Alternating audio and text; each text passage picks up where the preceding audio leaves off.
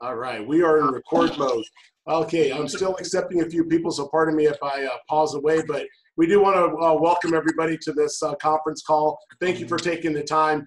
Uh, Sally and I had been talking about this, and we had gotten together with our respective chiefs. Uh, I spoke over to the PD side, and we all had agreed it'd be a nice opportunity to be able to have some time with you all to uh, let you know what it is we're doing in our departments, uh, to be able to address any concerns or questions that you may have, and essentially to give you uh, just a perspective on some of the things that we're doing for the city and what we're doing for the business community. And so certainly, and I and Chief uh, Cameli will go into detail here, but you know there are things that we see that on our end where we're still trying to make sure that our crews and us as individuals are still supporting our local businesses and doing our due diligence to help support you all as well. So for us, it, it didn't really come down to Chief Cameli. I apologize if I'm stealing your thunder here, but it was more of a thing of you know not necessarily what can you all donate, but what can we all do to help each other uh, make it through these tough times? And, and if that means how, how do we assure that your business is still uh, running as smoothly as possible despite all this, we want to make sure we did that. But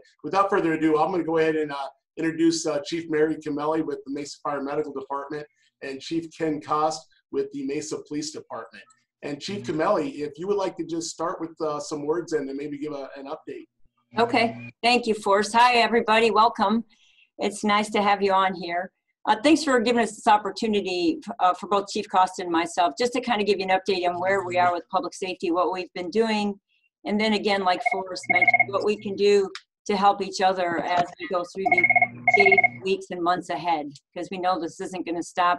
And when it does, I mean, we know it's not going to stop soon, but as we progressively go back to what the new normal is going to be, it's still going to be some time. So uh, for the fire department, uh, just some of the biggest issues that we face today and we've continued to face during this, the beginning of the crisis is our whole protective equipment, uh, making sure we have enough of it. We track that daily. We want to make sure that we're protected, the public is protected when we go into their homes as well. Uh, so we make sure that we have our gear on for both to protect the public and to protect our members. This has been an ongoing thing for us uh, from day one is to make sure that protection is in place.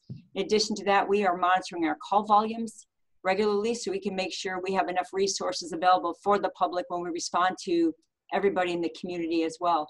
So we're monitoring that actually three times a day. We get updates on our call volumes to see where we're, where we're at and what we need to do to um, add resources if needed in order to do that. We are monitoring the uh, the hospital overload, see where we are so patients aren't waiting a long time to be offloaded from ambulances when we are responding to them and transporting them to the ER. The hospitals have been very, very good. They have not been overcrowded yet at surge capacity. Everyone's been prepared in that regard to month and then it's wrong. to beef up where they uh, to add resources where they need to so they don't get at capacity. They have not been at capacity as of date. So we monitor that as well to make sure that when we do respond in the community that we get patients help as quickly as possible. Something we're just starting to work on now is to some antibody testing for our members too to see who has been infected, who um, has already had the antibodies to it. So in essence, we're protecting the public as well. So we know which members of ours have already had the virus. Now there's still research out there saying if you had it once doesn't mean we're not convinced that it doesn't mean you can't absolutely get it again. They're still looking at all that but we continue to look at all of these things uh, in terms of protecting our members and the public. So when we're responding to your family members and things like that, we make sure that we are protecting and have barriers between us and the patient as well. We've been also kind of partnering with the parks um, in all that they're doing in feeding and uh, doing restaurant buyout, all these kind of things to make sure that these businesses in Mesa, with this money that the city got, uh, the city received, in order to help those in need and working with many of the nonprofits. So the parks is taking the bulk of it. Uh, we've partnered with some things, we're helping with some things behind the scenes in terms of getting equipment and supplies and things like that to help make this program successful. So these have been some things that we've been doing and uh, we continue to do as we're moving through each day with this and monitoring, we're monitoring daily uh, projections of where COVID's going and um, the numbers in the state and things like that so we know what to expect in the future. Although the projections still change as real data comes in, the projections continue to to change. And when the peak the peak time of when we're going to see the highest level in our state, uh, that has changed uh, about three or four times since the data started being uh, actually getting actual data. So the actual peak time was very close to, it was like May 2nd, but that can change again depending on what kind of data they get. And as they start to, um, the social distancing, as they start to lighten up on some of this, we also anticipate some additional calls um, that, that may come of this as well. So these are things that we monitor daily um, for the community and for those we respond on.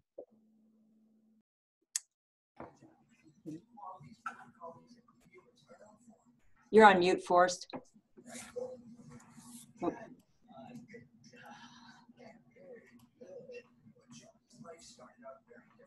Forrest, you're still on mute. Thank you very much. Sorry about that, everybody. I think we'd have this down by now, right? so uh, one thing I uh, personally I did not uh, I forgot to mention is we have our assistant chief James Johnson also. He's our operations uh, oversees our operations and emergency operations center as well. Uh, now, Chief Kost, uh, would you like to go ahead and give us an update, sir?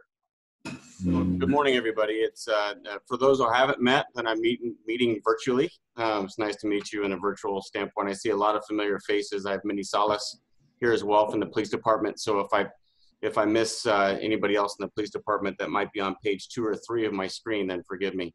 Um, as far as the police side, we we've completely uh, revamped a lot of the way we do business. Uh, obviously, from every everything to how we receive calls to how we're having officers uh, proceed out um, to the to the facts that we're asking people to come outside of their homes when we can, when it's not a safety issue.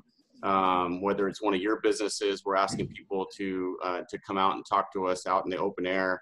Um, uh, PPE, which is the personal protective equipment, has been a challenge for us, but thank goodness we have the partnership with uh, Chief Cameli and Fire. Otherwise, we would be in trouble like all the other um, uh, police departments around the country that are having issues with having enough uh, PPE, not to mention obviously the healthcare industry, which I know is represented in here today, um, and, th- and those I'm on a in that regard. This is a. f- For um, for the police department, our calls and the types of calls have changed. Uh, so we haven't really dipped uh, below a, a significant uh, uh, um, level of, of reported crimes. It's just different. So we are we are lower in some categories and we're higher in others. Like for example, um, stolen cars and things that be, that that cars being broken into at night. And then for your uh, edification, for commercial burglaries and things that are usually in the middle of the night type of thing. We've seen some increase in some of those categories um, and, and have reacted to it. And our officers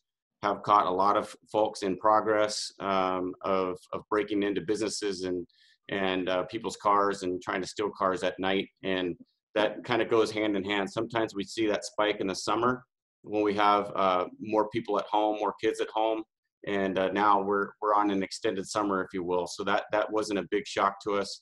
Um, a lot of folks feel like you know maybe some of the things like domestic violence would go up. Uh, we haven't seen that, but what we have seen is neighbor trouble, uh, fights amongst neighbors, fights in in in the in in the street, some tension starting to uh, overboil a little bit. So we're reacting to that um, and just adjusting our resources accordingly. So uh, I'd be more than happy to answer any questions as far as that goes. But with calls going down in a lot of other categories, we've redeployed our officers who might be more proactively patrolling the streets to when they're either writing their paper or uh, when they're when they're uh, in their beats is to literally park in your business lots to try to uh, uh, to go and um, do extra patrol because we realize that uh, every business is not necessarily open. Although obviously this week there's starting to be some relaxation on that.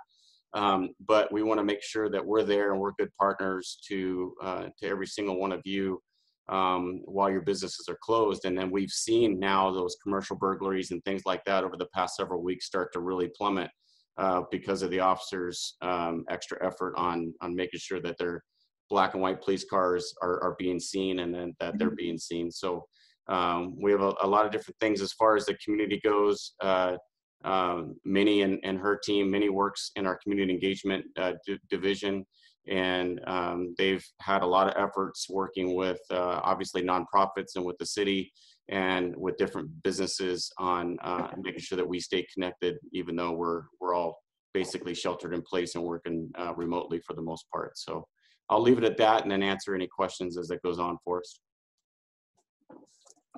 All right, thank you very much. Uh, Now, at this point, uh, if anybody has any questions, if you'd like to, now we have a, a great deal of screens, and so if anybody wants to go ahead and just give a, a quick uh, thumbs up there, we can go ahead and start uh, taking any of your questions.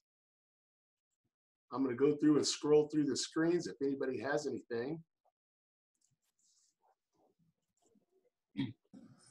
Hey, Forrest, this is Mary. Yes, Chief. Can we have uh, Chief Johnson just give an update? He's, Chief Johnson is managing the Emergency Operations Center, the EOC, uh, for the city. And uh, maybe he has some other information just to share with the, uh, everybody as well. Excellent. Thank you, Chief. Chief Johnson? Hello, everybody. Thanks for uh, being here. Um, I appreciate it. It's a good opportunity to be in front of you. Um, yeah, our Emergency Operations Center is up and running.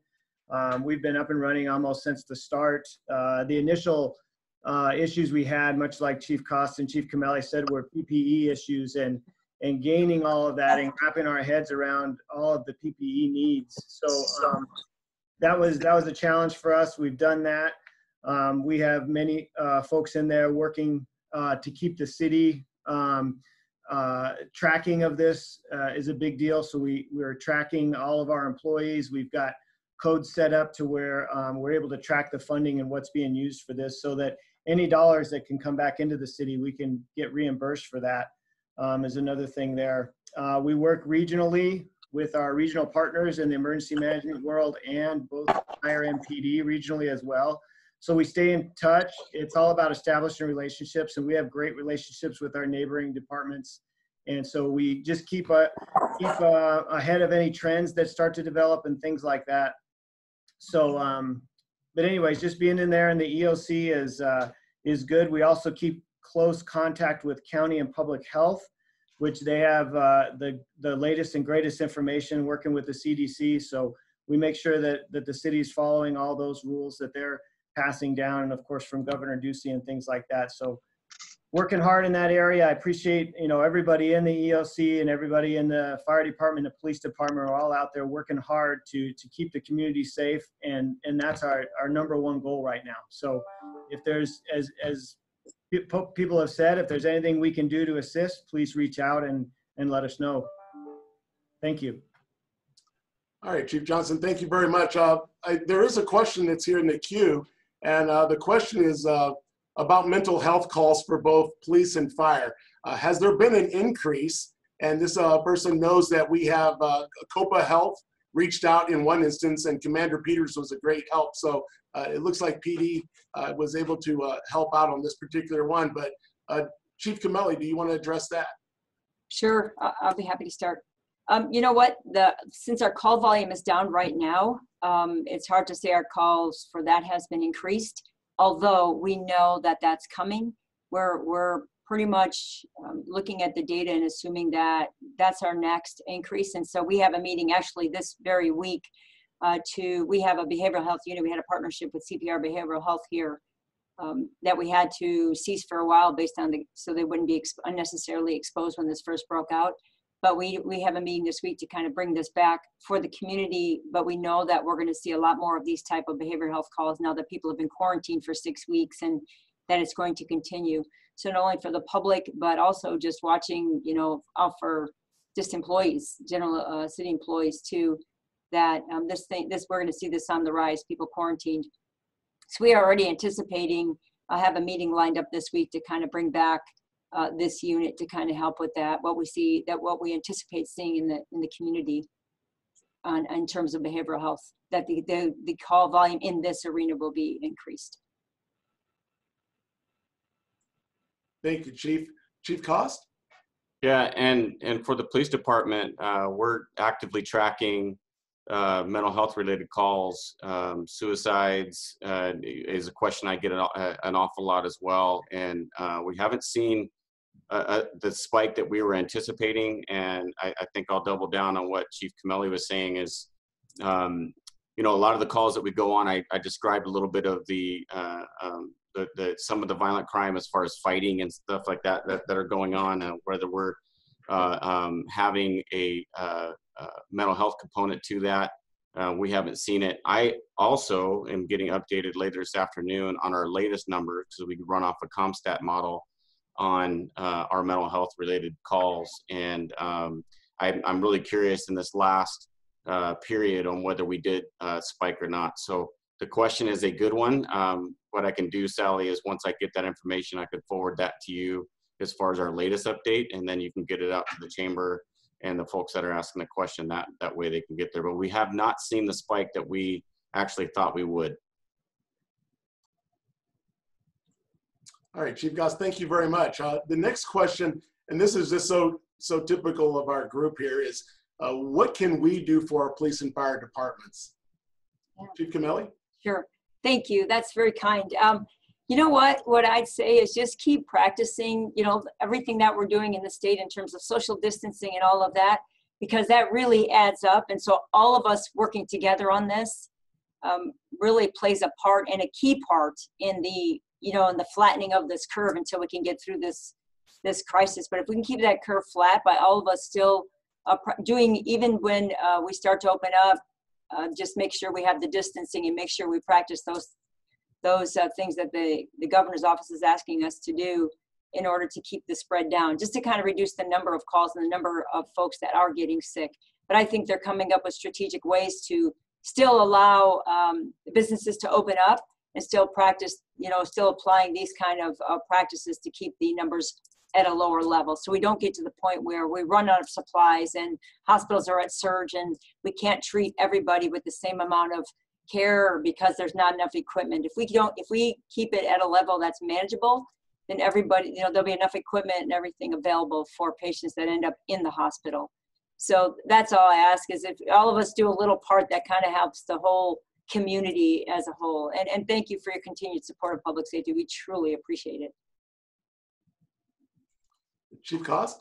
Yeah, you know, for us, we uh, we really appreciate the offer, and um, there's there's definitely behavioral things that we can that we can hope to get from from the chamber is as we roll this out and Governor Ducey has his phased in plan. I know each of you will have your phased in plan if you're not in the middle of it already, and and really, um, you know, operating under the rules of the the uh, governor's order we we have not and and we're proud of this we have not had to arrest or cite anybody in the city of mesa yet for completely going against the order um, whether it be the order from the city of mesa that that was the original order and then now the governor's order so just helping us uh, keep everybody safe and distanced and and while we phase back into the new normal um, you know we'll ask just for that continued cooperation because our our mission has been education. So if we go out to a business at 123 Main Street um, on a report and we get,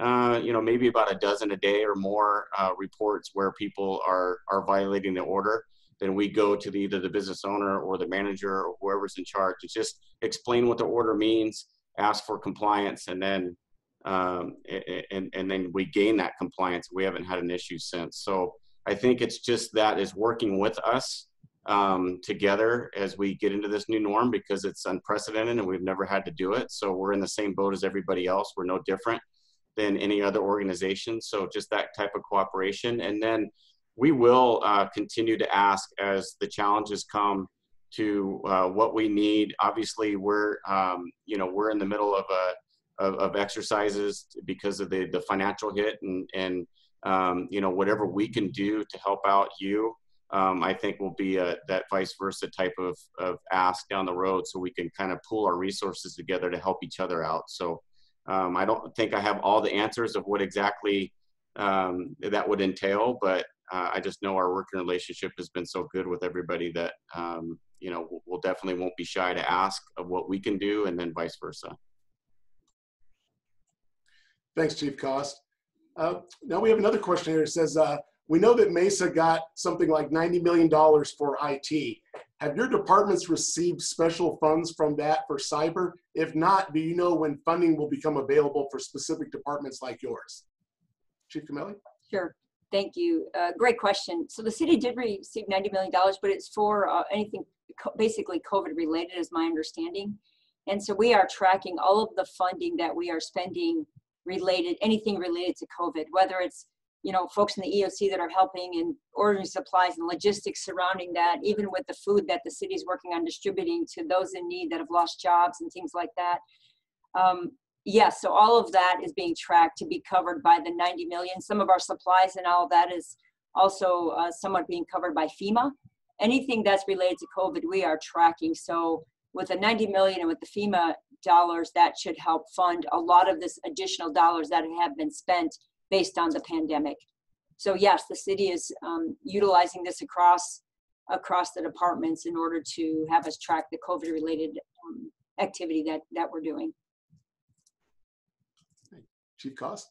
And, and specific to the IT related, it, it's so new that the money was just granted. Um, so I know that, that our IT director um, for the police department, um, along with a lot of our command staff members are putting together proposals that may or may not fit within that $90 million uh, award. And because there's guidance, there's, there's uh, obviously some rules that are attached to it and, um, but it all is, is pandemic related. And so there's, there's some things technology wise um, and I'd be premature to speak about it right now in this meeting that that we could use. I think both in police and fire that would help, uh, um, you know, uh, deal with pandemics and not only just this one but any future. So we're we're looking at a lot of those type of proposals, and those staff proposals are are due pretty quick uh, because it is it is time sensitive. So I think here in a few weeks we'd have some answers on on what kind of technology we'd be looking um, to uh, leverage to help in these situations to answer your question.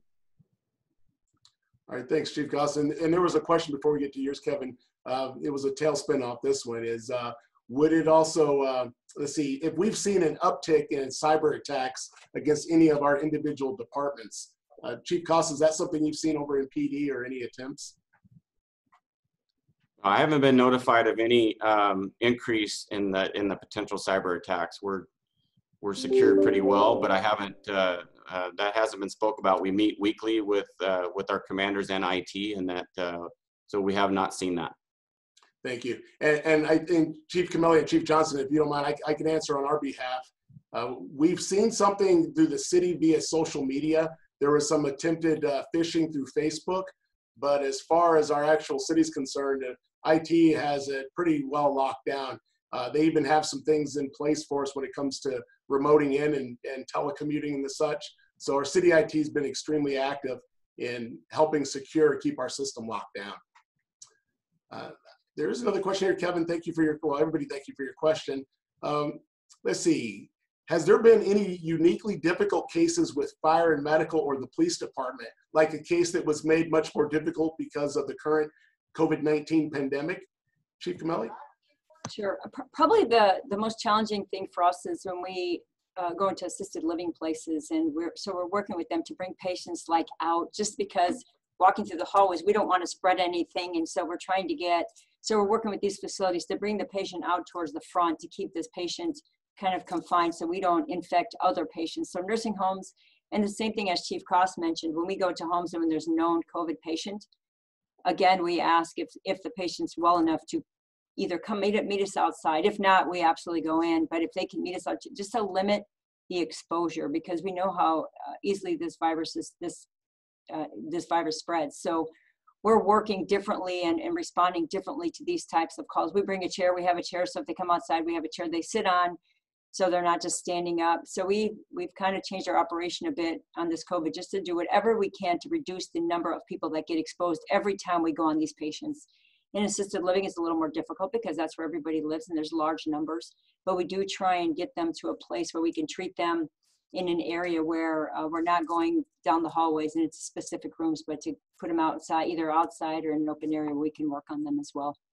So it does change our dynamic a little bit in terms of exposure, and we, we continue to modify that to meet the needs as we go on, on more and more patients with this uh, virus.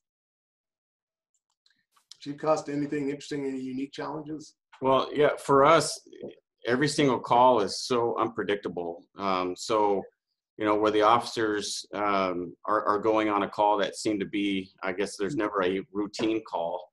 Um, we we have strict protocol in place for for uh, the PPE, the protective equipment, um, but where they may be taking a report call and not have to, you know, they can keep distance.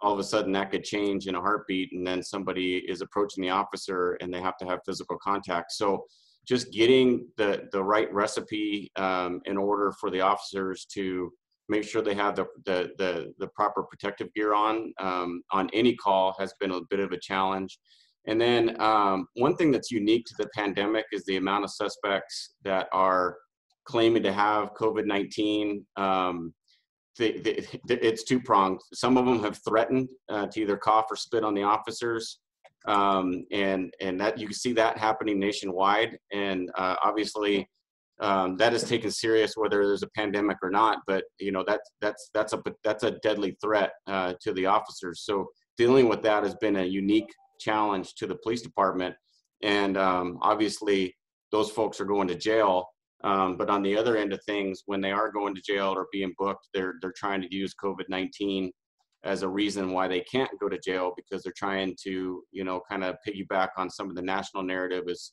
hey you should be letting more people out of jail than than you're putting in because then you're affecting the jail population. So they try to leverage um, leverage COVID nineteen that way too. So those are things that our officers are dealing with as I'm speaking right now. I'm sure. Okay, uh, I do not have any other questions in the queue. Is there anybody who has anything that, uh, any more questions? Dave? uh, quick. Uh, can you guys hear me? Yeah? Okay. Um, I just want to give a quick thanks to Mesa PD, particularly their traffic division. You know, most of the time we see those guys in our rearview mirror rather than uh, helping us out. But uh, the traffic division has been absolutely amazing to work with as we've done our food distributions at the Mesa Convention Center. Um, they they help us in everything from logistics to the security of the lines, and have put a, a very kind presence to our uh, uh, our clientele that comes to that. There, a lot of people are really worried at that time, but Mesa, the officers have been pretty kind and and helped people in a way that they felt very comfortable. I thought so. Uh, Chief Kost, a big shout out to you guys. Uh, for the great work that you've done there. Uh, I think our needs going to start to diminish. I wanted to let this this group know what our numbers have been looking at. They started at 500 people per. Uh, we we usually see 500 families per Friday, and that number quickly went to 1,200, then to 2,300. We remained about that level for five weeks in a row. Now we've seen it drop to 1,800 for the last two weeks. So that's a good trend. We like seeing it go that way. Um, but to meet uh, that need, it, because of the heat, we're going to make some adjustments to our distribution. If you know people that have that need food assistance, we'll be distributing out of the Mesa Convention Center uh, during the summer on Wednesdays from noon to 7. That's a new time and date. We've never done that before. And then Fridays from 7 a.m. to 3 p.m. So extended hours on Fridays. We're trying to make it to where we don't have this big crush of people coming to the convention center during a three or four hour period. So we don't have to utilize the uh, the police officers. We can help, you know, cut them loose to go help out uh, as as things continue to evolve. Um, but please let people know those are times they can come. We'll have the same food to distribute during the entire distribution, so you don't need to come early. You don't get better stuff if you come early or late. Just uh, we want to, I guess, flatten the curve of people that show up for food assistance. So just wanted to let everybody know on this call. I know a lot of you interact with different agencies. So again, that's the Mesa Convention Center, Wednesday from noon to seven, starting this Wednesday, and Friday from 7 a.m. to 3 p.m.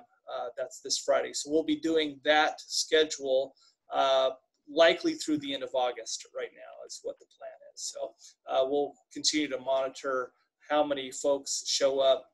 Um, I think we're getting, as the chief has said, you know, we're starting to see the, the economic part of this uh, turn on and the pandemic part of it start to wane a little bit. And so we know that there's going to be a lot of food assistance and other uh, mental health needs out there during this period is going to be equally as challenging. So United Food Bank's ready, and uh, we've been grateful for our nonprofit partners who've also stepped up, and the volunteers in Mesa. We've had a ton of people show up, have been very helpful to us. So uh, we're grateful for that. Uh, thank you very much for that, Dave. Appreciate it. Uh, I see there's a want to make sure there's no other questions here in the queue before we. Okay, so uh, the question for you, Dave, here is uh, who do we contact if we would like to volunteer with the food bank? Uh, so uh, if you go, so Grace Bish- Bishara is is uh, coordinates all of our volunteers. The easiest way to do it is to email her. Um, if you go to United Food Bank's website, uh, I'll put her um, I'll put her email in the chat box. But if you go to our website, there's a drop down menu for volunteer. Just click on that, and there are some options there, and you can uh, volunteer there. And I know United Food Bank isn't the only uh, group. We serve 63 Mesa agencies. Uh, we've been working with the Parks and Recs and Facilities Department to fan out a lot of their employees to our uh, member agencies as well to facilitate their food distributions. We've seen about a 20% increase in those agencies. So um, big shout out to Mesa Parks and Rec Department too for jumping right in and and we're trying to keep as many people busy as we can and uh, like Mary was describing using some of those COVID funds to uh, I think we're going to rent the entire convention center for the next three months. So if you if you want to come down and help, uh, you can come down and help there too. So Excellent. Thank you very much for that, uh, Dave. You know, um, let's see. I do not see any other questions in the queue here. If anybody, I'm going to scroll through the screens here right quick and see. Okay. Yeah, one of the things that uh, when Sally, myself, and we'd got together with the chiefs, we wanted to uh, open those lines of communications because we know that everybody is having their own challenges. But what I like to do, and uh, Sally, we can talk more how we can continue to keep the conversation going. And if anybody has any ideas or suggestions, it could be a two-way street to see how we can support one another as we go through this. And of course, there is an expectation we might be going through this wave uh, again this fall. And if there's anything we can do to prepare for that, uh, we certainly can see how we can all work together as, as well. Uh, Sally, did you have anything else that you want to part with? I don't really have anything important other than to say how much we appreciate our partnership with both PD and fire. Um, we know how hard everybody works and we appreciate the fact that you know our community is so supportive and wants to get involved. So you know keep that in mind because we do have people that want to step up and help however that looks you know it, it kind of looks different for everybody involved. Um, looks like norm might have something he wants to say. He's made himself large on my screen. Mr devay yeah. Um, so, as many of you know, or some of you know, maybe not uh, many, but um, every year at COPA Health, which formerly was Marc Community Resources, we have an emergency preparedness conference that we usually put on in September.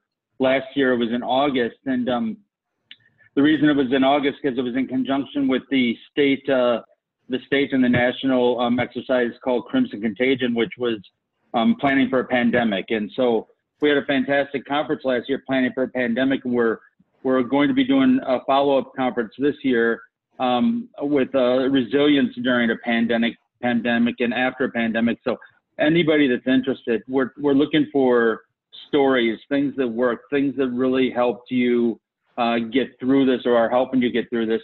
And I just uh, am reaching out because we usually have a couple hundred people attend this. It's always been very successful. Um, Forrest, I know uh, if you remember Mary in the past um, when we've had active shooter uh, conferences and um, other emergencies. I know you've taken part, but uh, please keep in mind that if you have something that's really working, it's something that uh, you think you'd like to share, um, whether it's uh, as part of a, a panel or uh, uh, you know a white paper, something that you want to share, um, let us know because we're really work, working to try to focus on obviously uh, the developmentally delayed populations, mental health, um, seniors and children. That's what we uh, try to do every year. So please, um, you know, contact me. And I think Sally knows how to get a hold of me. Uh, most people do. If you have uh, something you want to take part in that, or you want to share something during that conference in um, August or September, it's kind of weird to be thinking about evaluating while we're still in it, but uh, it's something we have to think about ahead of time. Right, right. thanks norm Thank you, Norm. Thank you. Uh, Chief Cameli, do you have any parting uh, comments? No, I just want to kind of um, match what Sally had just said. I, I appreciate the partnership too with the chamber and the businesses. Uh, you know, when we go through these things, working together makes it much easier for everybody. And uh, thank you so much for your ongoing support for public safety. And we'll continue to serve the community out there, but uh, we couldn't do it without the support that we received. So just to say, I, I really appreciate it. Thank you very much. Thanks, Chief. Thank you, Chief. Chief Kost?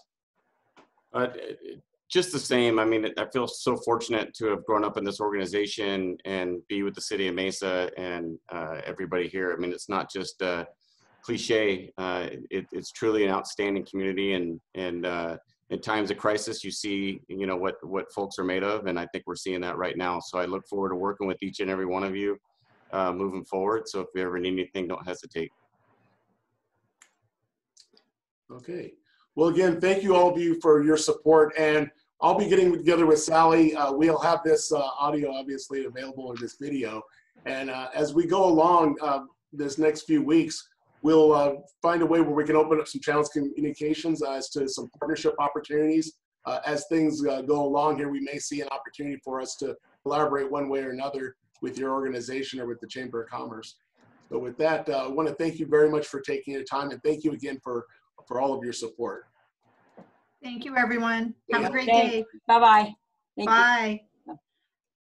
Thanks, Chief.